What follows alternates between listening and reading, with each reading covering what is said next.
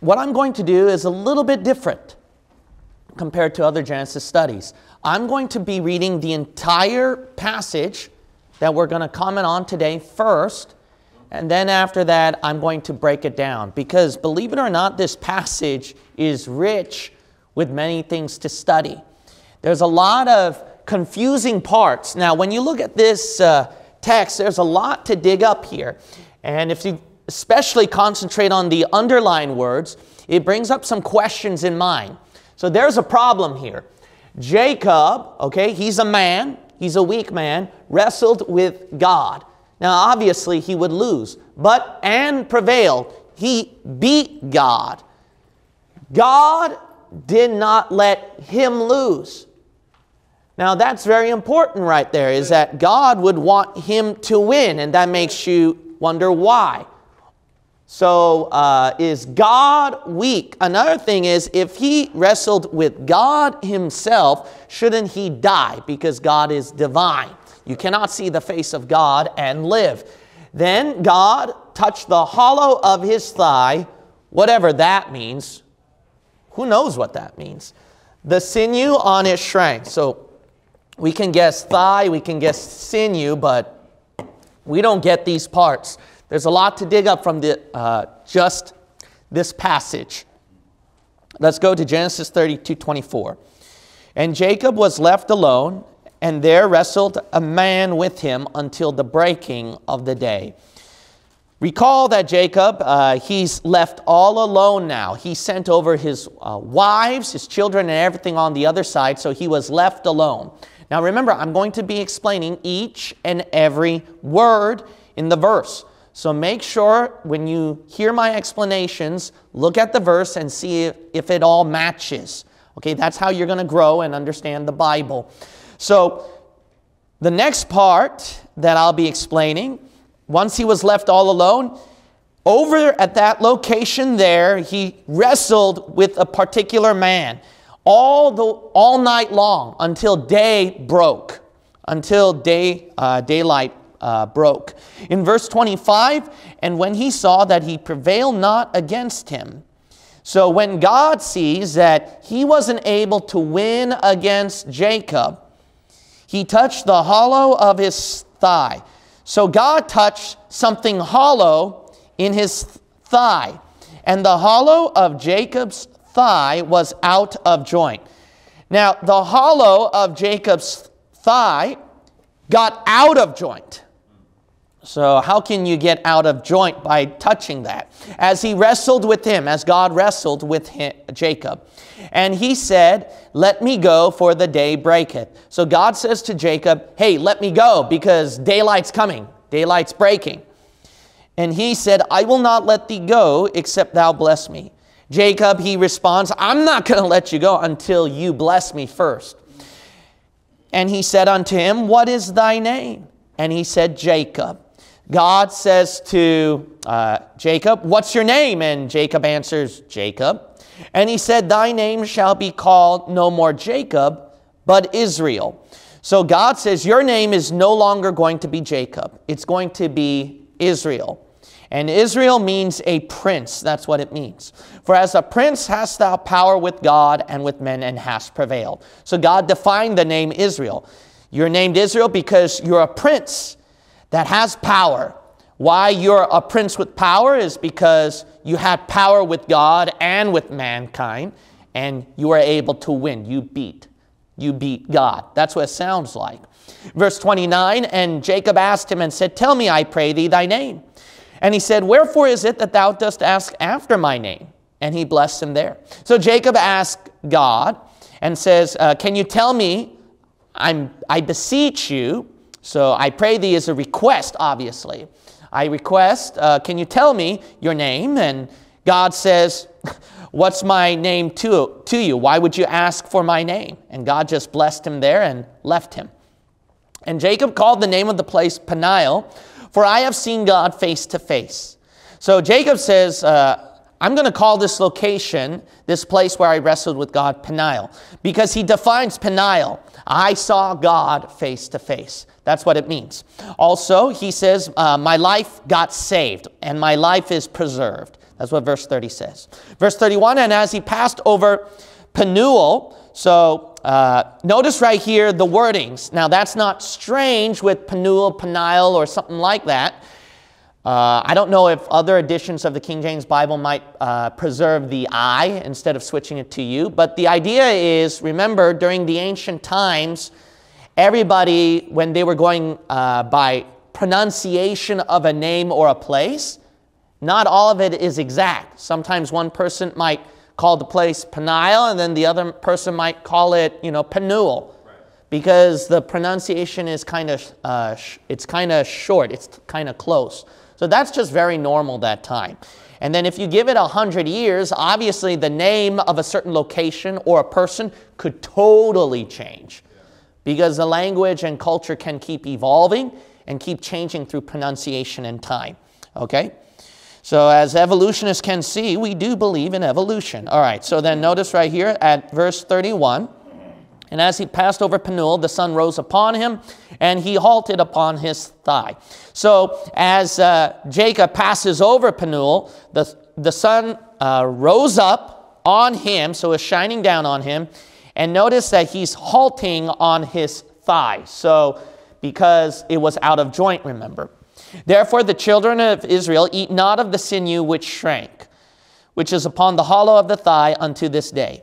So, because of Jacob halting on his thigh where it got out of joint, it was therefore, it's from that time forth, the Jews or the children of Israel never ate from the sinew. That's the muscle that shrank. So, apparently, a muscle part shrank that, uh, which is upon the hollow of the thigh unto this day. So, notice the location where this uh, muscle that shrunk is located. It's on the hollow of the thigh, all the way to this day. Because he touched the hollow of Jacob's thigh in the sinew that shrank. Why don't the Jews eat that portion, that muscle portion? And that's actually true. Uh, they don't eat that muscle part, that meat part. The reason why is because God touched that hollow uh, in Jacob's thigh, where uh, it's in the sinew, where the sinew is at, which shrank. Okay, what is what does all that mean? Now let's come to this. We're going to have a little bit of fun here. Okay, let's come across solution number one. Solution number one. First of all, you can't look at God and live. Remember that. All right, you can't look at God and live. So, how do you resolve that controversy? How do you resolve that scenario? Well, the first thing is this. One, we can see from this case, it's not God Himself in His full manif- uh, manifestation, in His full glory. God manifested in the flesh, as we've read in 1 Timothy 3.16. So they saw Jesus. Isn't Jesus God Himself? Yes, Jesus is God Himself, but notice that the people didn't die. Why? Because God manifests Himself in a form where these people can be able to look on Him and live. He didn't just uh, reveal His entire glory. Now, this manifestation is very powerful in proving that God has, quote unquote, an image. Now, Jews, they accuse us, you believe Jesus is God. Yes, well, God has no images. Well, how are you going to explain the Old Testament here? Yeah. Show them Genesis.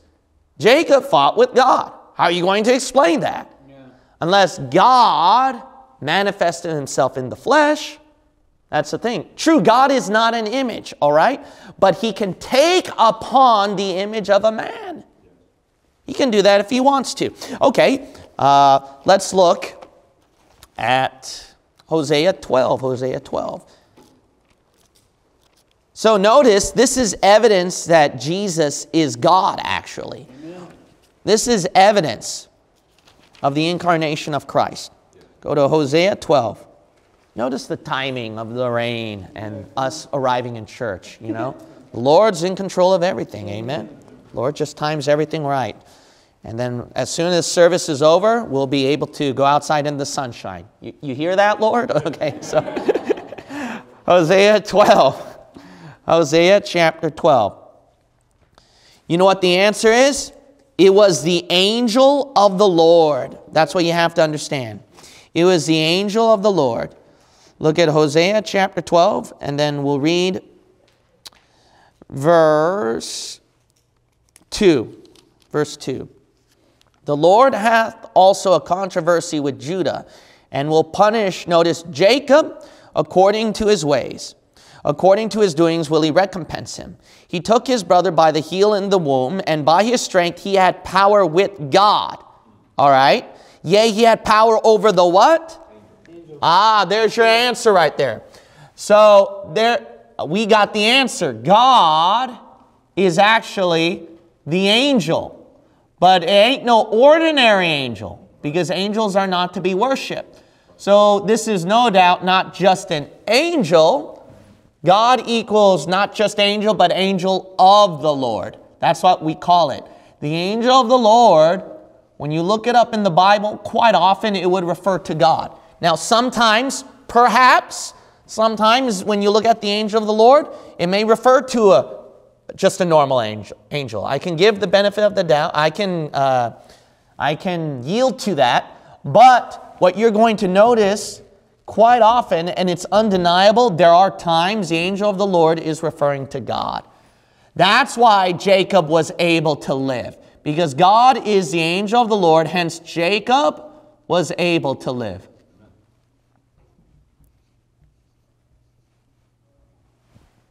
Now, let's come across the other issue. The other issue is how in the world did he beat God?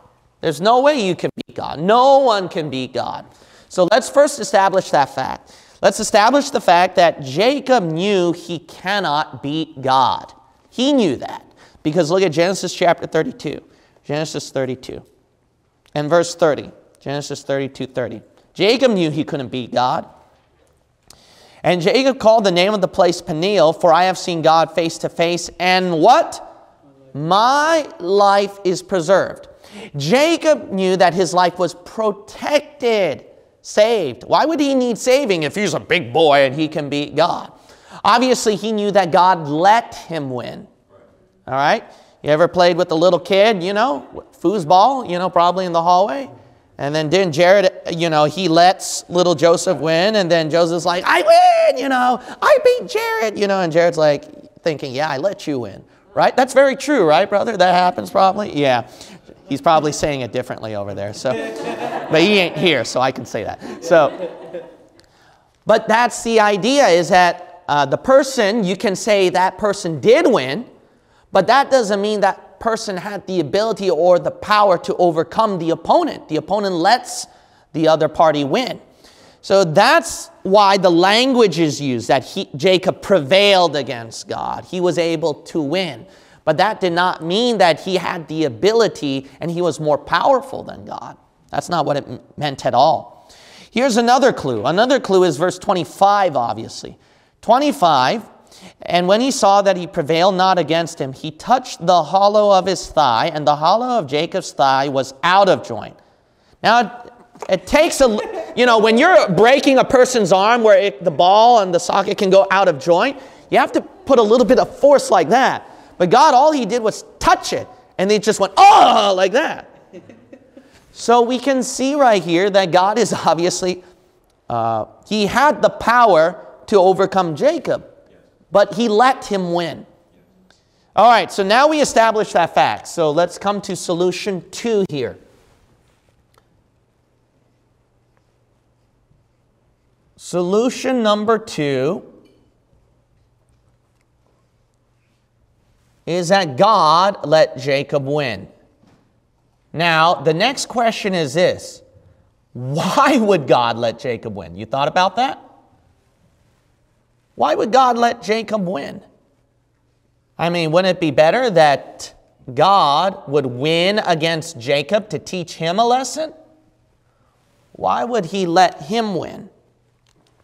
There's something about the nature of God that's important for you to understand. We're going to look at the book of Hosea 12 again. Go to Hosea 12 again. And then I want you to go to Isaiah 27. Isaiah 27. Go to Hosea 12 and Isaiah 27. Now, this is the eye opening part, okay? This one is going to be like, whoa, I never saw it that way. It just shows how brilliant your God is. Literally, everything he does is truly for a good reason. Amen. He has a lot of meaning behind the stuff that he does. So we have to see what those meanings are. And those meanings turn into really big golden nuggets and even conviction. First of all, look at Isaiah 27. Now, notice what the Bible says about Jacob when we read verse 5. Verse 5. Or let him take hold of my what? Strength. Remember, Jacob, his name was changed to Israel, means prince. Why? Because he had power with God.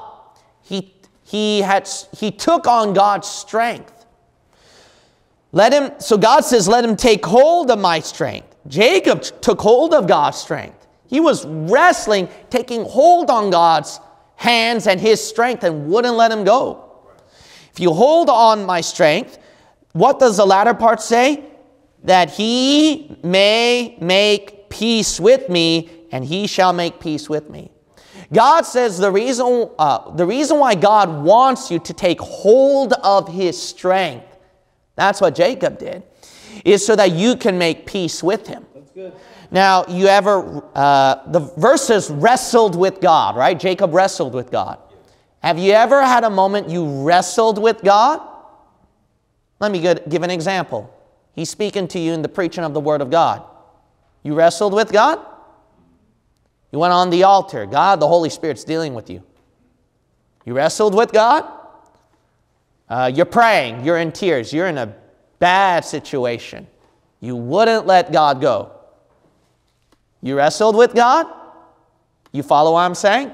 That's the idea. Why? Because there's a controversy, there's a debate going on.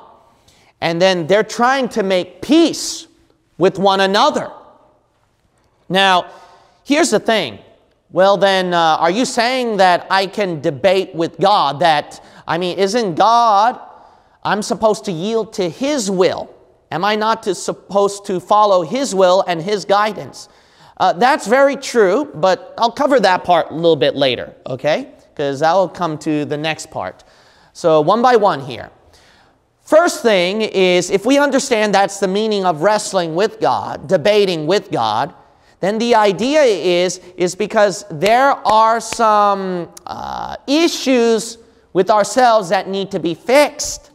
Because keep reading it, if, uh, so that you can make peace with him. Verse 8, verse 8. In measure when it shooteth forth, thou, God, will what? Thou wilt debate with it. That's funny.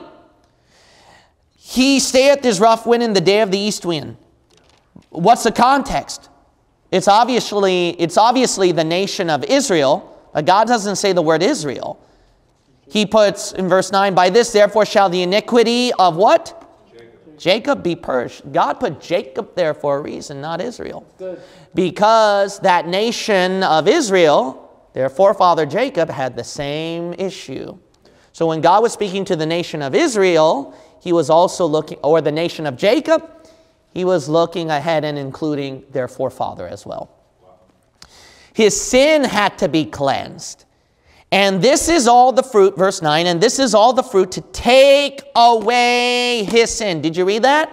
That struggle, that debate is necessary to clean up sin. That's why God lets Jacob win. You might say, why would God let Jacob win? It's so that a fight can come out. You cannot win unless there's a fight, right? When a fight breaks out, the fight is over your sin. And then God's like, well, why should I uh, free you from that problem, Jacob? Can you do you realize that Jacob, when we looked at his life, he lived his whole life in his own secular humanist way of doing things, in deceptive ways, in hurting people around him. And he thought he could live and survive that way. God had to uh, God had to put up a debate with him. I think you should reap what you show, uh, you sow. Uh, you got to be punished for this. Why should I let it go? And Jacob's like, "Oh God, please, uh, no. I mean, I uh, bless me, bless me." And God's like, "No, I can't bless you. You messed up. You know."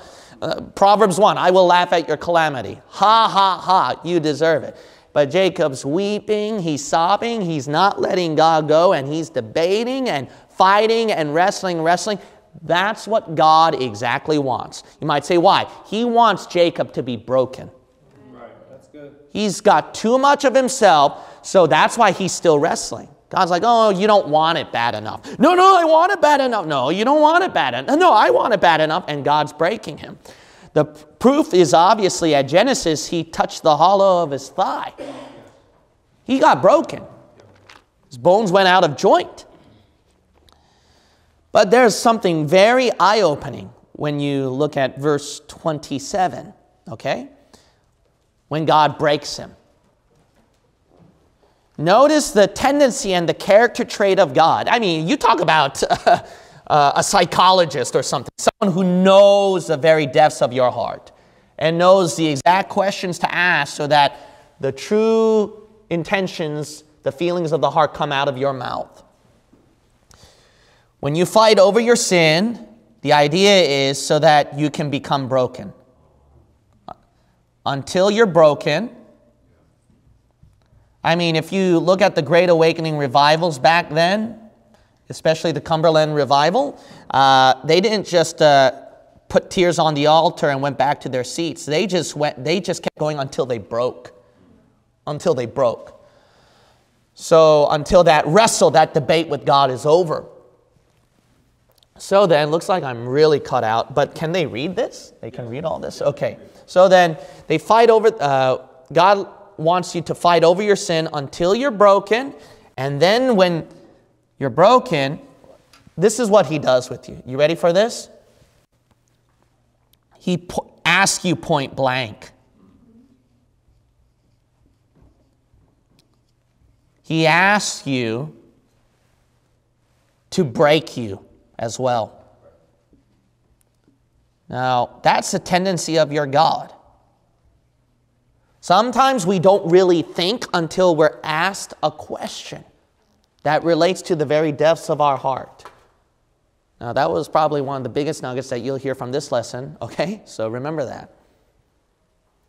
The reason why uh, questions are asked that aims the very depths of your heart is the best to finally get you thinking. Because when you're sinning, you're not thinking.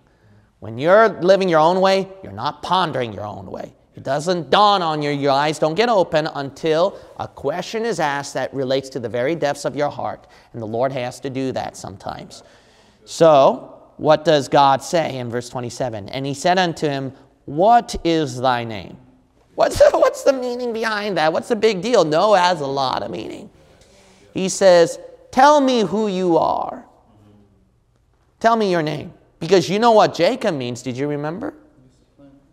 Deceiver. God wanted Jacob to admit that. And he said, Jacob. Jacob had to say, You're right, I'm a trickster.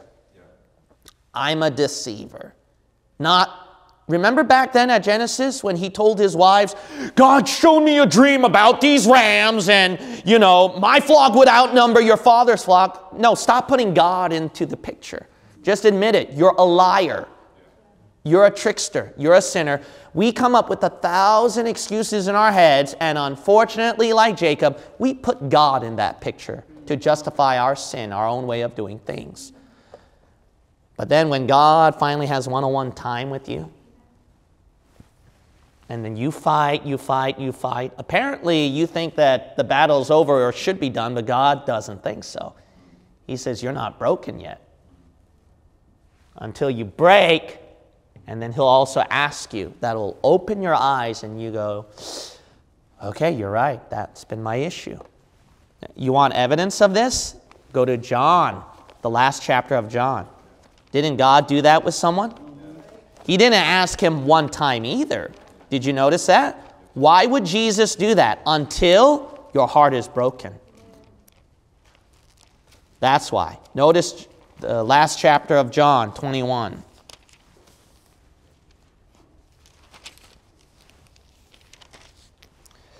John chapter 21. Notice that Jesus says at verse 15, and he's speaking to Peter. Remember, Peter denied Jesus three times. so when they had dined, Jesus saith to Simon Peter, Simon, son of Jonas, lovest thou me more than these?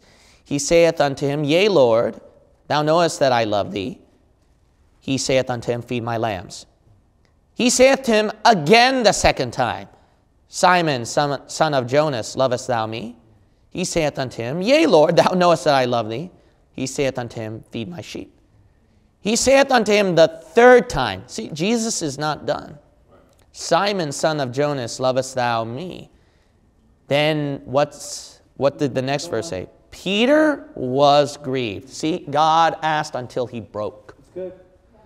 Why? It relate to his sin. He denied Jesus three times. God asked him three times.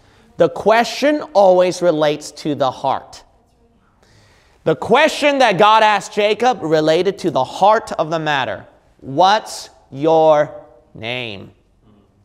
To Peter, do you love me? Do you love me? Do you love me? The questions that are always asked that relate to the heart of the matter will finally break you of your fleshly nature. That's the eye opening part right here. Okay, let's go back to Genesis chapter 32. These become very, very powerful. These become very, very powerful uh, and life changing. That's why God lets Jacob win. We understand that now the debate, the struggle. It's to break you. Now, another matter is this Another matter is not only God's intention for the person to win, to have a debate or struggle back and forth, is so that the person can be broken. But then it brings up that predicament, like I mentioned to you, is shouldn't we follow God's will? Because what if it is God's will for you to be punished, right?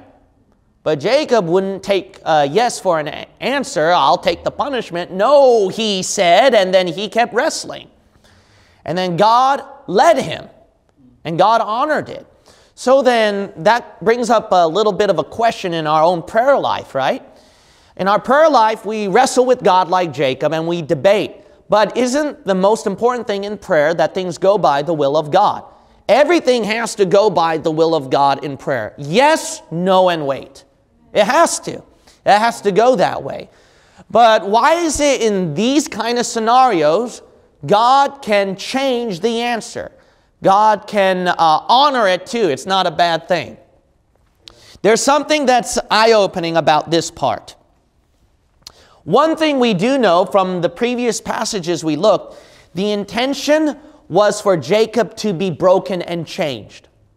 If that was why God wants uh, the person praying to win, I wonder if that's the case in our own prayer life. The reason why God uh, would want the person to win in prayer is so that you don't change God's mind, but that He can change yours. Not to change God's mind, but to change your heart. Now, is there evidence for this? Let's look at Luke 11. Luke 11.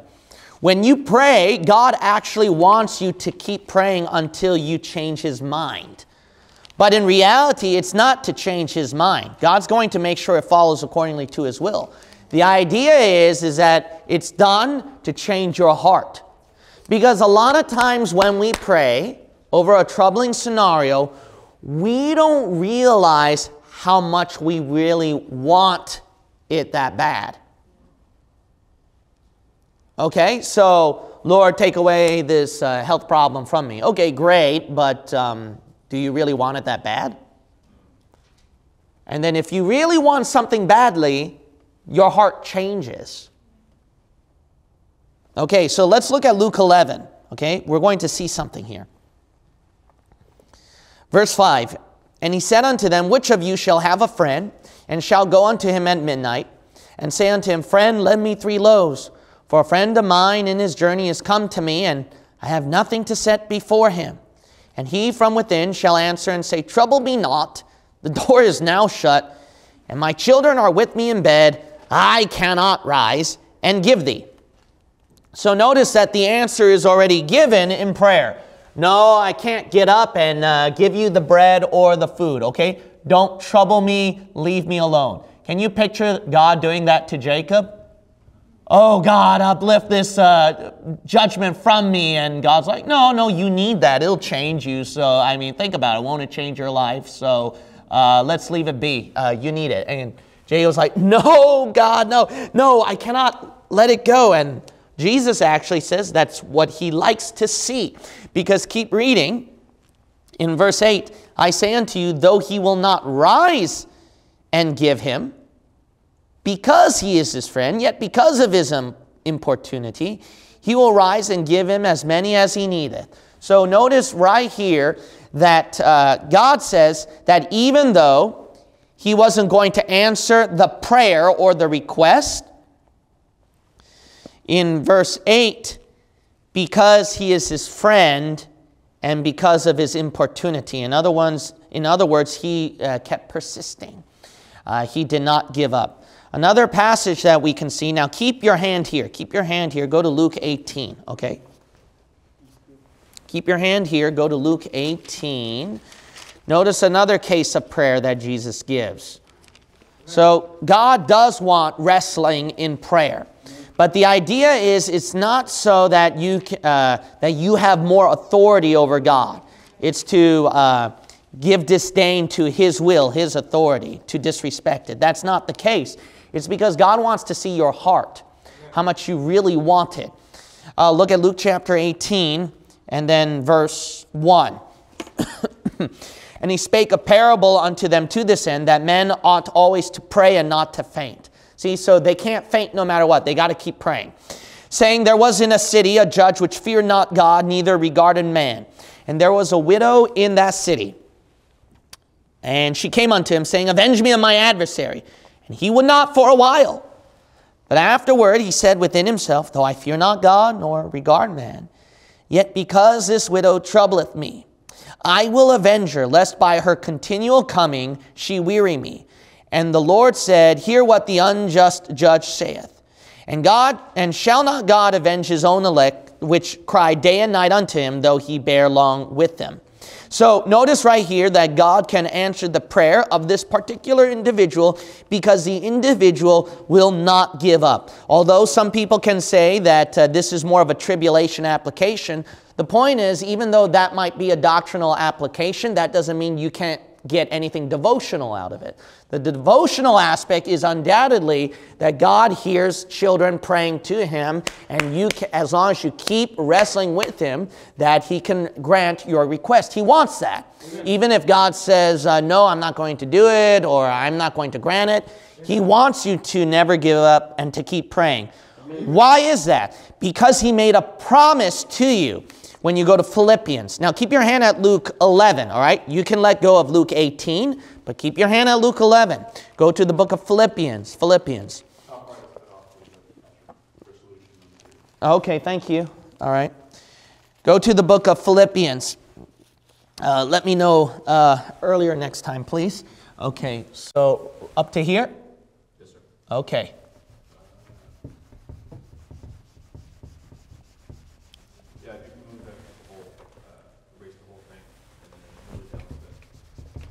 Okay.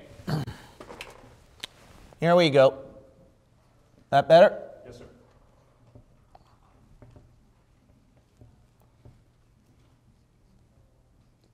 All right. Or up to here? That's perfect. All right, then. So I'll leave it here. Okay. So, solution number three it's talking about importunity in prayer, not giving up. God wants that. I'm assuming this spelling is right in the Bible, so he wants to keep seeing that importunity in prayer. Amen. Because he made a promise, and this is one of those promises that I usually quote when I pray. Look at the book of Philippians, and it's a verse that you memorized. Chapter 4, verse 19. Chapter 4, verse 19. But my God shall supply all your need according to his riches and glory by Christ Jesus. Because God promised that he'll provide all your need. Now, when you go back to Luke 11, here's the idea. Look at verse 8. Okay? Keep your eyes peeled. I say unto you, though he will not rise and give him, because he is his friend, yet because of his importunity, he will rise and give him as many what? As he needeth, not as he, uh, God, my God shall supply all your needs, not all your greed. Not a desire, not a want, but a need. You don't realize that request you're giving if that's really your need. How much you need it. Sometimes, as you keep praying and praying, you'll realize that it's not really your need and that it's more of the lust of the flesh and you'll change it. Or it was a want at the beginning, but then through praying, you realized how much it turned out to be a need. Amen. Okay, now why? Because God promised He'll provide the need, but He also made a promise I cannot grant desires of the flesh. Look at James. Look at the book of James. That's, the, that's why God will answer. It's because it's according to the need, not the desire of the flesh. The James chapter 4. James chapter 4 and verse 2. James 4, verse 2. You got to understand this God will never answer desires of the flesh. Now, sometimes He'll answer desires, don't get me wrong, but you have to realize that if it's according to the lust of the flesh, if it's not an actual need, if it's not something that aligns to his will, based on all these conditions, then he's not going to answer the request. He's not going to answer the request. God will never answer uh, desires of the flesh. So when you look at your prayer, is it really what you need? Maybe you need wrestling time with God. And as you wrestle, then you get broken a little bit more. And as your flesh gets broken a bit more, your eyes start to open a little bit. And then you realize what you needed.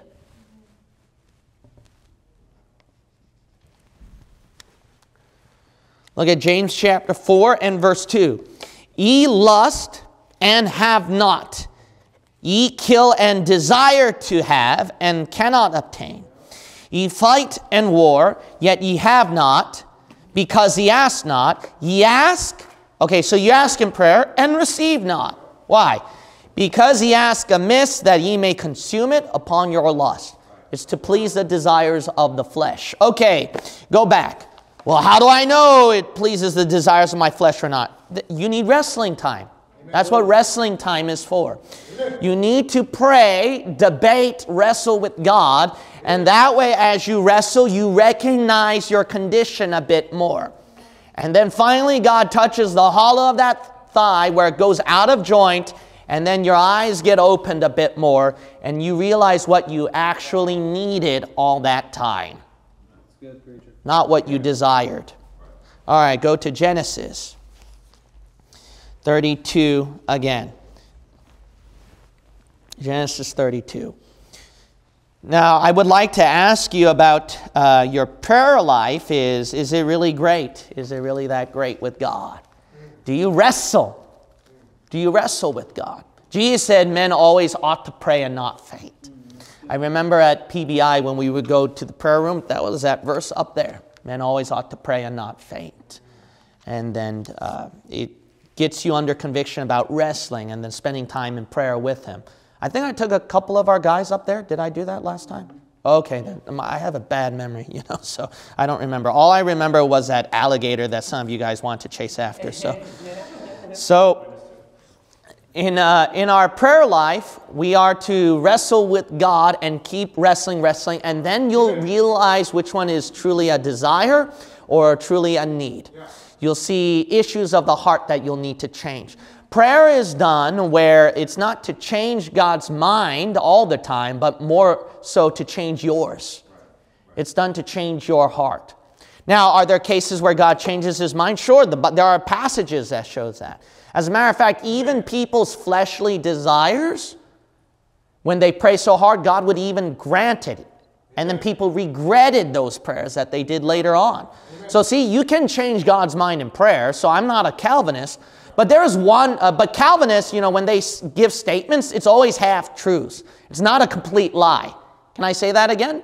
That's the tricky, deceptive parts of Calvinism you have to beware of because they do say something true and biblical, but it's a half truth, it's half biblical. Okay? So the true part with the Calvinist statement is in this part that prayer is not done to change God's mind, but more so to change your mind, which is very, very true. But that's a half truth because they ignored the other half part. You can change God's mind without even changing your own mind. the fleshly, sinful part. That is possible. Okay? All right. Anyways, Genesis chapter 32.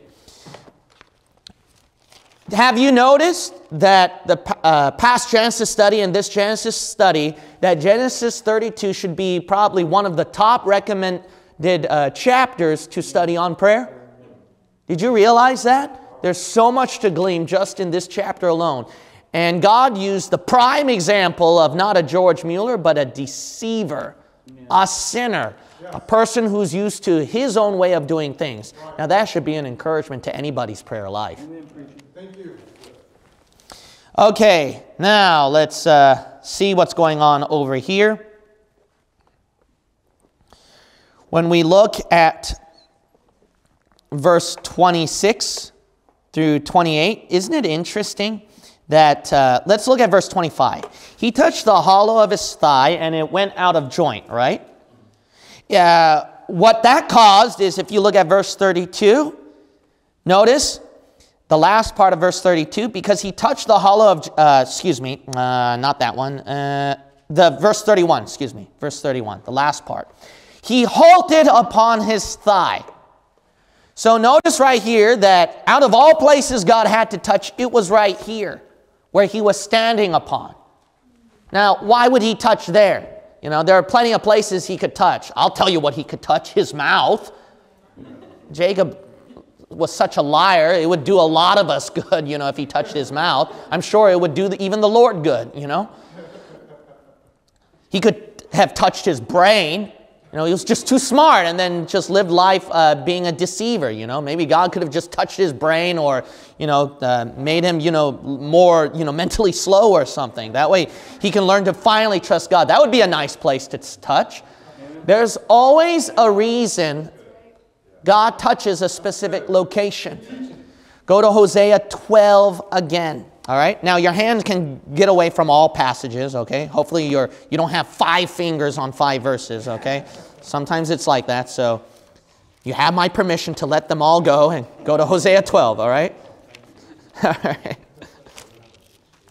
We'll go to Hosea chapter 12. Now notice the wording right here. Read the passage again about Jacob, where he was able to prevail against God. Hosea chapter 12, verse 2. Now, when you read 2 through 4, everything that I talked about will seem to line up now. Verse 2 The Lord hath also a controversy with Judah, and will punish Jacob according to his ways, according to his doings will he recompense him. That's why Jacob prevailed, because he had to clean out his sins first. God had a controversy, a debate with him. Now that verse makes sense. Okay? But let's keep reading. God had to pay him back. Verse 3 Ever since birth, Jacob was a problem. He took his brother by the what? Heel in the womb. That's why God hit it right there where on his foot he would be going like this the rest of his life. Why? God always does this if you know the, your Lord. He goes to where it all starts, the problem. Not the middle, not after, not the current problem of your current problem of what you're thinking. No, God goes to the deep root of the matter where you start, where you don't want to go. God always does that. So that's the reason why God um, touched the hollow of his thigh so that, you know, where he's, he has the problem because that's where it all began. He took the brother by the heel, and God's like, oh, that's where you thought that you had everything. All right. Notice right here, verse 4 Yea, he had power over the angel and prevailed. He what? Wept and what? That means prayer. You know that? He found him in Bethel, and there he spake with us. Uh, did, you find, did you find God in Bethel yet? Bethel means house of God. Now, obviously, the building is not the house of God, but you could take it in this sense is uh, basically God's talking about a location, a place and a location that was special to Jacob. That was God's house where he was able to find God, and God was able to speak with him, where he wept and uh, uh, where he wept and where he made prayer. I wonder if you have that kind of moment in your life. If there is one that should be, it should be salvation. Place, time, place, the context of the situation. And people get very upset when you ask them for their testimony and tell them about the importance of Romans 10:9 from the heart you say it out of your mouth time, place, scenario. They don't like that. They always like to say, I just always believed. I always had this in my life. How dare you question my salvation? Look, if salvation, I want to say this one thing. If salvation is the most important thing in your life, how can you forget? How can you forget one of the most important events in your life, what entailed there? And say, I just don't know.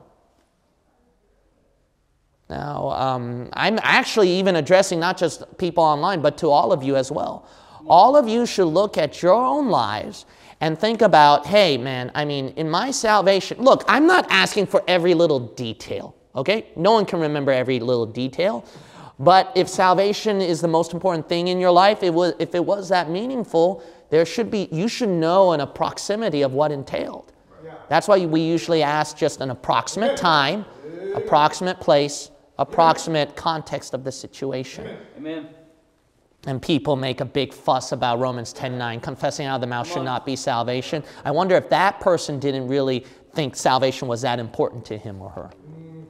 All right? And just waste time drawing on a whiteboard and then, you know, just brainwashes all the people on that one, the Bible believers on that. All right.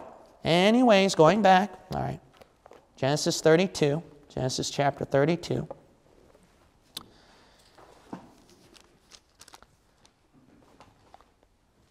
So it's not just salvation, that's just one example, but even your own life, right? You have to think about your own life. You ever had that? Yes. Maybe you need that. Yes. Maybe you need that. Uh, the Great Awakening revivals, they definitely had that. Every, a lot, I can tell you for a fact, majority of the people in that church during the Great Awakening revivals, they'll tell you time, place, and situation where they met God at His house and they wept and made supplication. But nowadays, churches don't have that, let alone their salvation. Even their salvation shows how much the, they're very close to God, how God meant to them. Must be the world that meant so much to, more to them, and that's why they're wasting so much time in the world and mixing the world in the church. All right, going back. The passage right here in verse 29 And Jacob asked him and said, I, uh, Tell me, I pray thee, thy name. And he said, Wherefore is it that thou dost ask after my name? So notice right here, God does not give his name to Jacob. Now, why is that? Because of Exodus. Uh, we're going to look at two cases right here. We're going to go to the book of Exodus first, chapter 3. We're going to go to the book of Exodus. And then chapter 3. Then I'm going to give you, then I got to comment my most favorite part, all right? That wasn't the most interesting one. The most interesting one was the other part, so I'm going to get there soon. Exodus chapter 3. Let me get this over with quickly. All right, let's go to Exodus 3. Now, notice what God says in verse 14, uh, verse 13 through 14. Exodus chapter 3, verse 13 through 14. You know what God says? And Moses said unto God, Behold, when I come unto the children of Israel, and shall say unto them, The God of your fathers has sent me unto you. And they shall say to me, What is his name? What shall I say unto them? Now, why would uh, Moses ask that if he already knew God's name? Why? We know his name. Uh, I mean, so many, so much we can call him Jehovah, Jesus, etc., etc. But uh, why didn't Moses know, right? So then there's a reason behind that because God never gave his name back then until now. So the very next verse, verse 14, and God said unto Moses, I am that I am. And he said, Thus shalt thou say unto the children of Israel, I am has sent me unto you. Verse 15, God said moreover unto Moses, Thus shalt thou say unto the children of Israel, The Lord God of your fathers, the God of Abraham, the God of Isaac, and the God of Jacob, has sent me unto you. This is my name forever, and this is my memorial unto all generations. So God never revealed it until then. Until then. So God says, Now everyone will know. Go to Judges 13. Judges 13. Notice the tendency of God when he manifests himself as the angel of the Lord is that he won't give his name. Notice he repeated the same thing with Manoah. With Manoah. Notice right here in Judges chapter 13, and then we'll read verse, let's see right here, 17. 17. And Manoah said unto the angel of the Lord, What is thy name? Verse 18. And the angel of the Lord said unto him, Why askest thou thus after my name, seeing it is what? Secret. How about that? All right, go back. Go back to Genesis 32. Go back to Genesis 32. He wants to keep it to himself. So that's what God did as a tendent. That was his tendency as the angel of the Lord in front of people. Why? You can't look at the face of God, let alone his name, and live. How about that, right?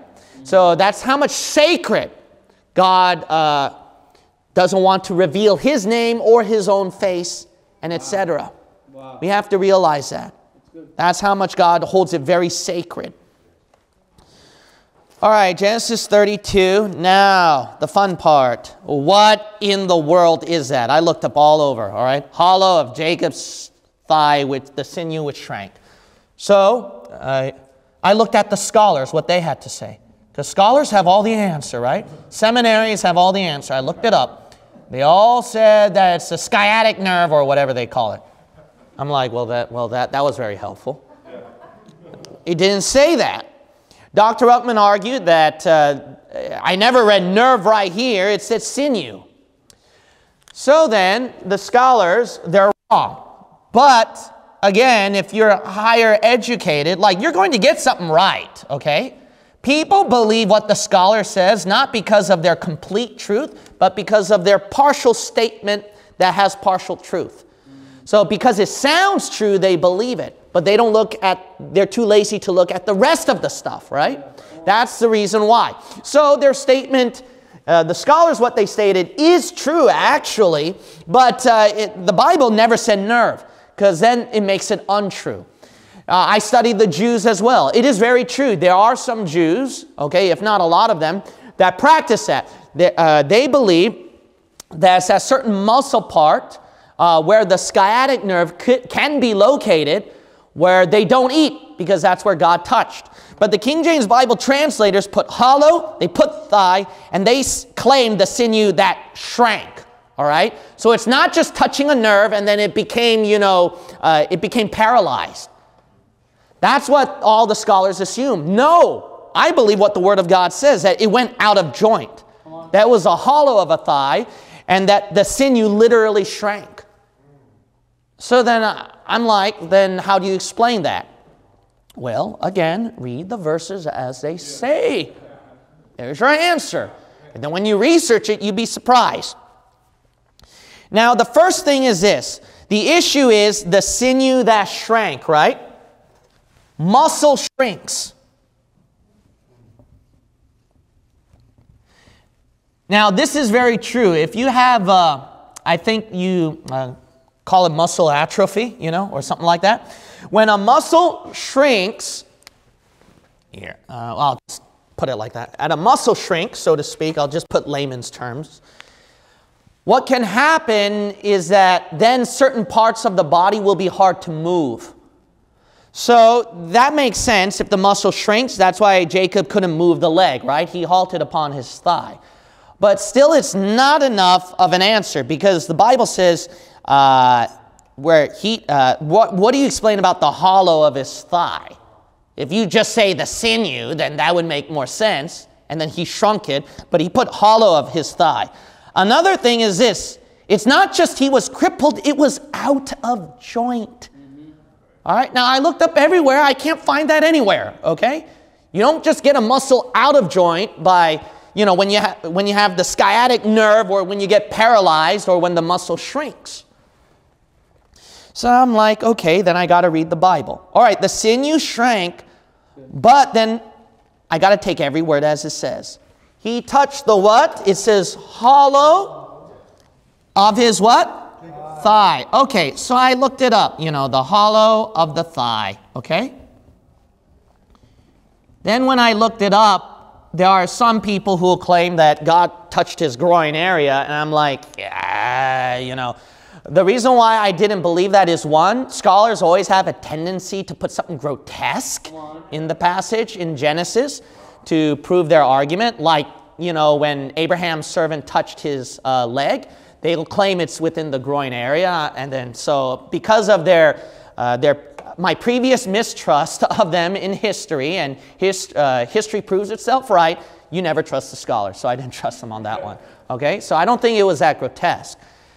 Then it just dawned on me, which should be a duh moment. So, hollow of Jacob's thigh. So then I was thinking, what's hollow in the thigh? And then, you know, just typing it out, there is a thigh bone. And there is a part in the thigh bone that's hollow. I forgot what you call it, uh, femoral art or something, but it's right here, okay? And this is the thigh actually in the Bible. That's where Abraham's servant touched uh, Abraham too, the thigh. It's right here, this location. The thigh bone, there is this bone right here, and it's the main bone you use for running, walking, and everything. He touched that. So the Bible, I take it literally as it says. Now, do you realize that this is before a human anatomy in your Bible? Oh, amen. Uh, yeah, the Bible is scientific. That should be evidence. Like God knew inside the body because He created that body. Hey, that thigh bone is hollow. I'm going to touch it right there. I mean, do you think KJV translators were human anatomists and scientists? Come on, why would they translate like that unless it's God's word and they took it seriously and they said, Well, I'm going to translate it like this because it says hollow, it says thigh. I don't get it, but that's the correct translation. Wow. Wow. God touched it right there. And obviously, you have that muscle there that uh, it's all relying on. When he touched the hollow of his thigh, that muscle shrank. That's why he couldn't walk on his leg. But then the problem is this how do you, uh, that doesn't explain out of joint though.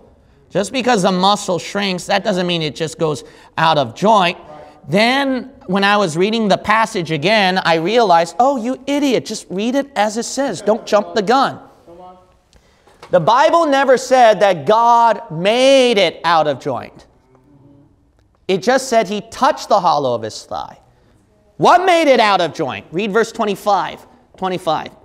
When he saw that he prevailed not against him, he made Jacob's thigh out of joint. No. He touched the hollow of his thigh. Okay? Once he touched that, where the sinew shrank, right? The sinew is that muscle, that stuff, all right? Uh, and the hollow of Jacob's thigh was out of joint See, I don't have to tell you. You guys are KJV Bible believers. You can figure it out for yourselves. As he wrestled with them, that's true when I study it. When I said, how do you get dislocation? It's not just some, something traumatic. They also said that it can, uh, it's through uh, using it. When your muscle, uh, when your muscle shrinks, and then you tend to keep using it, it can go out of joint. Yeah. Okay. Yes. Now, like, oh, that makes sense. Because see, when he shrinks the muscle, Jacob's got to let go. God was testing Jacob. God's like, okay, you're going to get out of joint if you keep wrestling with me. Your muscle shrunk. You better let me go. Jacob's like, I'm not going to let you go. Even if you're broken? Yes, Lord, even if it breaks me. All right, then you're going to get broken. Crack. Man. Man. Man. Yeah, amen. Amen. Praise the Lord. Amen. By the way, you, they didn't read verse 32, okay? They didn't read verse 32, all right? So it's not like all in the same. I was thinking hollow of the thigh is the same thing as the sinew, but no, they're both different, okay? And they're, look at the, look, uh, look how God touched it. Verse 32, therefore the children of Israel eat not of the what? Sinew which shrank, which is what? Up on the hollow of his thigh. So here's the hollow of his thigh right here. And that's why the Jews don't eat that part over here. That made sense. So it's this part that went out of joint. So the hollow of his thigh, but that sinew which is up on the hollow of that thigh bone. That's why the Jews don't eat that. Now it made sense. The scholars, the Jews, had something right, but it, see, like I told you, they just only showed you broken parts of picture. They didn't show you the whole part. That's what God did. So God just touched it right here, the hollow of his thigh, bam, and then that sinew shrank. Wow. That's good. Why? I don't know. Maybe because it was hollow. Maybe he could travel the energy there or something. I don't know. But he touched it right there, the hollow of his thigh, and then that sinew part, which is true. There's a sinew on the up part of that uh, thigh bone, which is hollow. And then if this one shrinks, and then that part is all messed up, and then it falls out of joint through pressure, no wonder it happened to Jacob. Wow. All right, let's close with a word of prayer. Father God, I pray that today's teaching was a blessing to the hearers, and thank you so much for the truth of thy word. In Jesus' name we pray. Amen.